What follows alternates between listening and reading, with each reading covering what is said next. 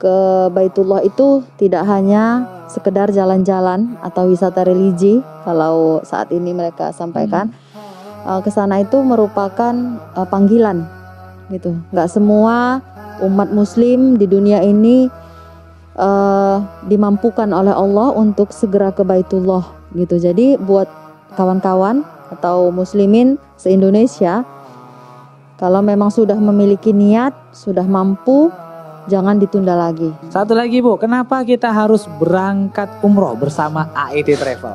Oke. Okay. Iya, yang pertama umrohnya pasti aman karena kita memiliki manasik yang terintegritas, kemudian kita memiliki sistem keamanan pembayaran dan yang terakhir kita juga punya tim KSA. Di mana tim-tim KSA tadi merupakan uh, pemuda-pemuda uh, Indonesia yang sangat energik mm-hmm. yang bisa uh, membantu kita untuk melaksanakan ibadah umrah.